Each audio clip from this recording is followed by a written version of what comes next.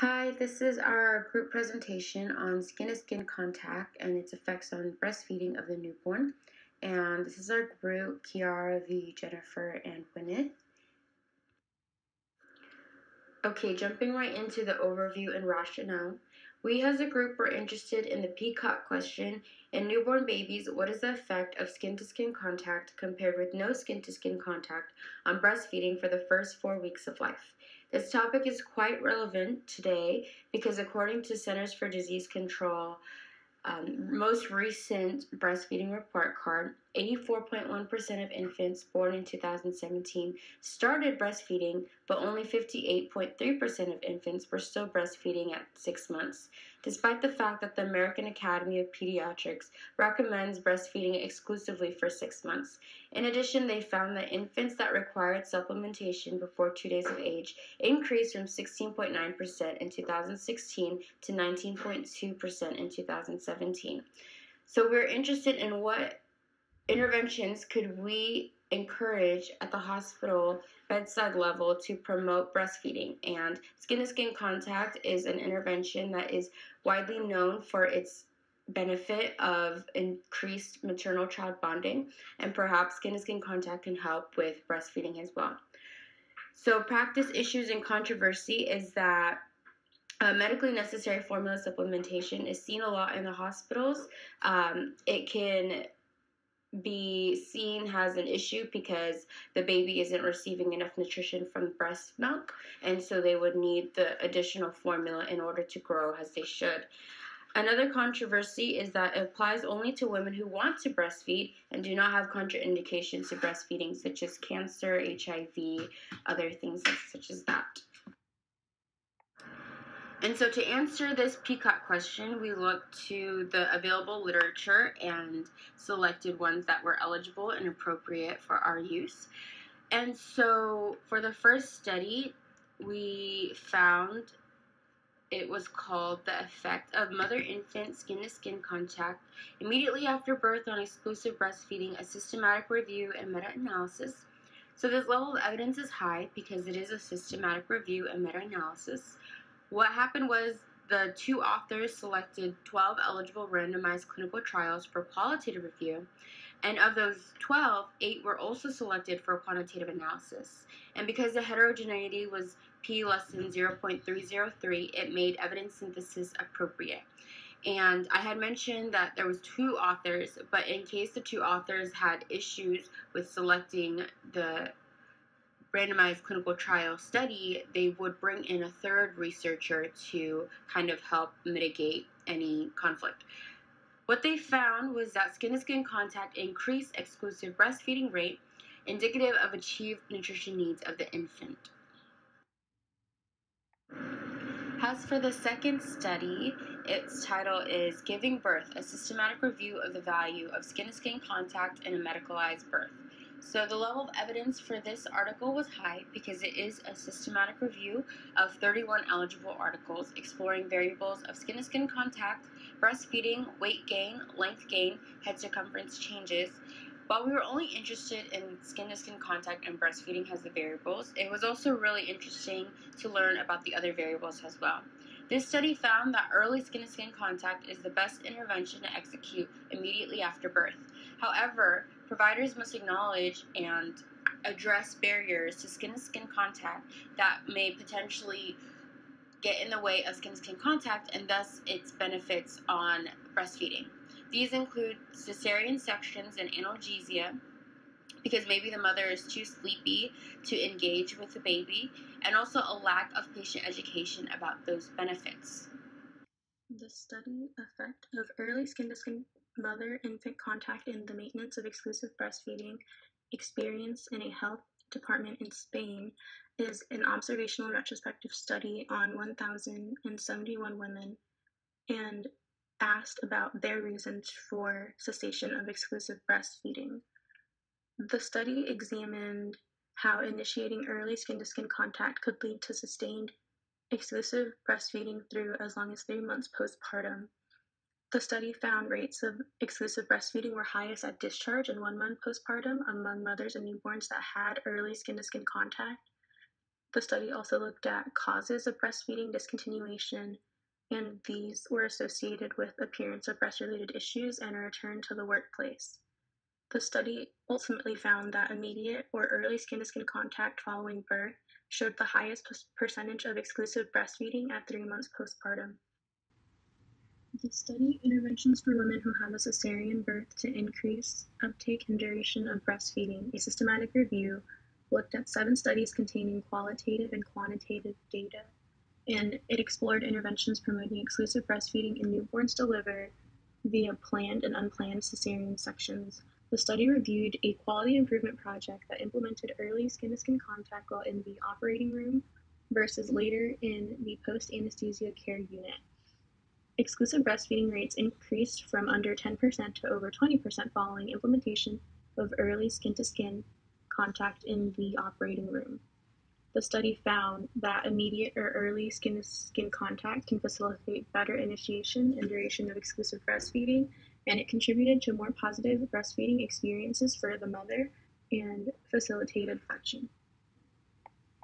The effects of kangaroo mother care on the time to breastfeeding initiation among preterm and low birth weight infants is a meta-analysis that compares kangaroo mother care, which includes skin-to-skin contact, versus conventional care, where the baby is dried and put in a radiant warmer slash incubator, and looks at their impact on breastfeeding.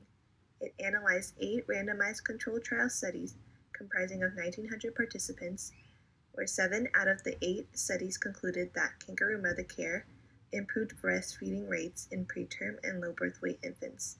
The overall pool mean time was collected among the studies, and it showed that the KMC, or the Kangaroo Mother Care Group, initiated breastfeeding two days and 14 hours earlier than the conventional care group. This study supports the statement that skin to skin contact improves not only breastfeeding rates, but emotional regulation in infants. Furthermore, the study concludes kangaroo mother care promotes early initiation of breastfeeding. The next study I'm going to be talking about is a quasi-experimental study titled The Effect of Mother and Newborn Early Skin-to-Skin Contact on Initiation of Breastfeeding, Newborn Temperature, and Duration of Third Stage of Labor. This study was conducted in Iraq and the sample consisted of 108 women. They were separated into a skin-to-skin contact group and a routine care group. In the skin-to-skin contact group, skin-to-skin contact was started immediately after birth and continued for an hour while in the routine care group, infants were placed under a warmer, dried, and handed to the mother for breastfeeding. Findings indicated that skin to skin contact led to earlier initiation of breastfeeding, decreased the incidence of hypothermia, and there was a shorter duration on the third stage of labor. This article is a level one level of evidence. It is a randomized clinical trial. Uh, this article focused on the newborn's alert state in those first hours of life and how skin to skin contact can influence breastfeeding depending when it is initiated. So there were two groups, uh, they both received skin to skin contact. So for both of these groups, one was provided skin to skin contact immediately, which was at the first minute of life after they were born, and the other group received skin to skin contact early, which was at exactly the first hour of life. Afterwards, they conducted a follow up six months later, in which the mothers provided feedback as to how long the babies were breastfed and if it was exclusive or if they used any supplementation. So, the findings here were that despite the onset of the skin to skin contact and when it was implemented, the babies were exclusively breastfed up till five months of age, roughly. Uh, it does indicate that there is a positive effect in early skin to skin contact despite the onset of the timing, but there was no other group to compare that did not receive the skin contact. So it is lacking a little on terms of comparing, but it does still support that skin to skin contact is beneficial for exclusive breastfeeding. This article is a level 3 level of evidence. It is a descriptive qualitative design. So this research paper was organized around the nine developmental stages of a newborn and what they go through in those first few hours and how skin to skin contact impacts uh, how they transition through those stages. The paper is essentially an analysis of extensive research that was done on behaviors of full term infants during skin to skin contact, as well as clinical observations from various different settings from the nurse clinician's perspective while they implemented skin to skin contact with different couplets, which is a mother and her baby. So the findings were skin to skin contact in these few hours after birth provides vital advantages for the newborn in order to experience a, specific, a successful transition uh, to life outside of the womb. It promotes bonding between mom and baby and it increases the mother's self efficacy for breastfeeding. It promotes primal sucking. It establishes earlier breastfeeding. And it also will establish exclusive breastfeeding in most babies, which will decrease formula supplementation. Collective findings from our research suggest that there are multiple benefits to skin to skin contact and kangaroo mother care for mom and for baby. So it can promote a better bonding between baby and their parents, especially mom or dad, whoever's doing the skin to skin contact. It can help with a better latch to the breast, which helps with early, successful, and exclusive breastfeeding. It can also soothe baby in their transition from external womb life and it can also help to decrease the risk of hypothermia. For moms specifically, it can help in shortening the duration of the third stage of labor. Some barriers to skin to skin contact consist of C sections or analgesia, as well as the lack of patient education in regards to the benefits that come with skin to skin contact. So, some studies also showed that uh, early skin to skin contact was more common in vaginal or natural births in comparison to C sections. So, vaginal births had a 92% of incorporation of the early skin to skin contact, while C sections that were planned had an 81% and urgent C sections had a 57%. Moms reported that they have more positive breastfeeding experiences when they receive that skin to skin contact following the C section so even though we're seeing the unequal distribution of who gets early skin to skin contacts in between vaginal and C-section birth, it is been proven by research that both of them would benefit more if they still are able to receive that skin to skin contact. As for the difference of early versus immediate skin to skin contact, the onset doesn't make much of a difference according to studies, um, whether they receive it at the first minute or at the first hour of life. Exclusive breastfeeding has been shown to be maintained approximately up until five months of age. Exclusive breastfeeding is also highest at discharge, but it does start to decrease at one month postpartum. And the common reason for breastfeeding cessation is actually hypogalactemia, which is uh, low secretion of milk. There is strong evidence that indicates the positive effects of skin to skin contact. Multiple studies containing the highest level of evidence, which is a level 1, concluded skin to skin contact causing an earlier initiation of breastfeeding. The evidence could be considered high quality as there were studies that discussed different populations. We've gathered studies that consisted of infants born via cesarean section, infants born vaginally, full term infants, and preterm infants. The positive effects of skin to skin contact on breastfeeding is evident in all of these populations.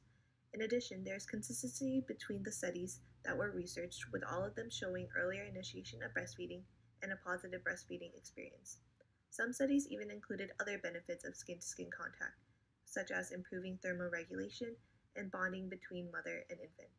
The main limitation between the studies would have to be the risk of bias, but that can be overlooked with the established guidelines and policies we are about to mention. Applicable practice guidelines consist that on maternity units, it is required to provide immediate skin to skin contact after birth and to allow the couplet to remain uninterrupted for the first hour of life, or at the very least until their first feed has been done. Mothers can perform skin to skin contact as long as they wish and as long as both her and baby are stable and being safe. A mother should be encouraged to offer that first feed whenever baby is showing signs of readiness.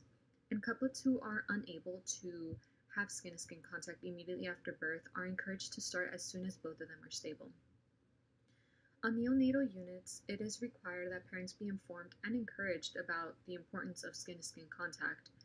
It can provide comfort and emotional support for baby's health and development.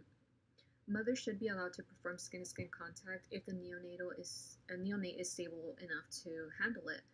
And this promotes breastfeeding, it encourages instinctive feeding behavior, as well as increasing the amount of milk that is expressed.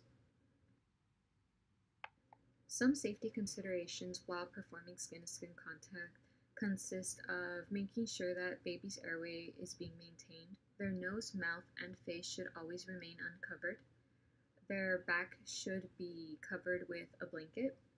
And the nurse should be frequently assessing mom for any changes in level of consciousness as well as their vitals. And for baby, they'd be checking the respiratory rate, their chest movements, and unusual breath sounds. If mom ever becomes unstable or sleepy, babies should be returned to their bassinet to ensure their own safety. There are other policies like rooming in, so this is something we should be encouraging uh, for mom to keep her baby in the room with her. This helps her to promote bonding with her infant, uh, early breastfeeding, and it also just helps her to get used to having baby there um, since when she goes home, the baby will be there.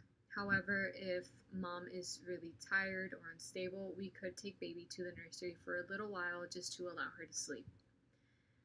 But we really do want to keep the baby in the same room for the most part. As for breastfeeding and lactation, mom should be encouraged to breastfeed frequently and early. The nurse should be trained on education and tips for helping mom with breastfeeding and getting a good latch. But if there are further issues and they need more help, a referral for a lactation consultant may be needed. We looked at Ronald Reagan UCLA's skin to skin care policy, and the purpose of this policy was to facilitate and encourage skin to skin and other baby friendly activities for all newborns and their parents. The goal of this policy is to improve parent baby attachment, facilitate breast milk production and breastfeeding, and to decrease the baby's stress by providing opportunities for skin to skin contact. The policy recommends placing the baby skin to skin with the parent immediately following delivery if the baby is medically stable. Um, any and all assessments needed to be done on the baby can be done with the baby on the mother or the parent's chest. Uninterrupted skin to skin is continued until the baby finishes its first feed or for a minimum of one hour if the baby is not breastfeeding recommendations for facilitation and promotion of skin to skin contact include providing teaching sessions for parents, providing education to parents about the advantages of skin to skin contact for both mother and baby can help the parents become willing to implement skin to skin. The teaching sessions can be held prior to delivery of the baby, and continued education can be given following birth of the baby and throughout the hospital stay to promote increased skin to skin contact, providing education for the nurses on the unit as well as reviewing policies can help further facilitate skin to skin contact implementation, policies, standardized care practices, and these policies should be reviewed during training for new nurses and annually, as well as um, updated to meet current practices.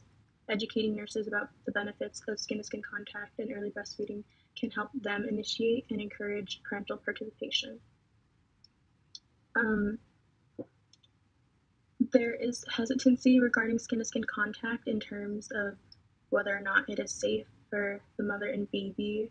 Following delivery, mothers are usually fatigued and tired, and they may not be able to hold their babies appropriately with a dedicated bystander, such as a the parent's support person.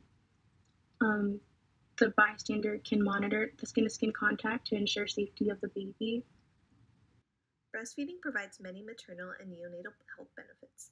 It is important to initiate breastfeeding within the first days of life in newborns to improve postpartum care and minimize potential health risk.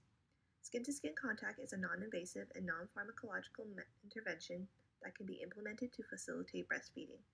We formulated our PICOT question In newborn babies, what is the effect of skin to skin contact compared with no skin to skin contact on breastfeeding for the first four weeks of life.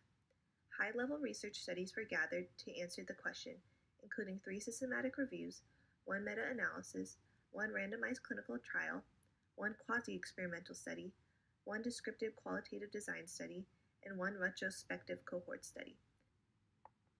In addition, clinical practice guidelines and protocols from the United Nations International Children's Emergency Fund, or UNICEF, and the Centers for Disease Control and Prevention, or the CDC, were also used in their research process discussing the effectiveness of skin to skin contact. Furthermore, Ronald Reagan UCLA's policy highlights the importance of skin to skin contact in promoting breastfeeding, attachment, and thermoregulation immediately following delivery. To encourage skin to skin contact, we provided several recommendations involving teaching sessions for parents, education and policy review for nurses, and having a dedicated bystander. According to the studies, clinical practice guidelines, and UCLA's policy, skin to skin contact is an effective intervention in promoting early breastfeeding within the first four weeks of life. And that concludes our presentation.